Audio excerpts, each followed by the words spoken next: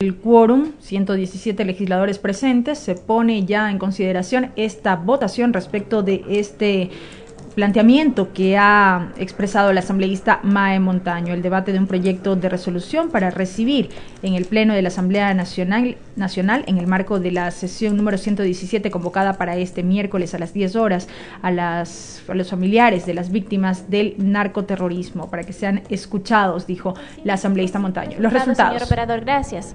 96 afirmativos, 0 negativos, 0 blancos, 21 abstenciones. Se aprueba el cambio de orden del día presentado por la asambleísta Mae Montaño.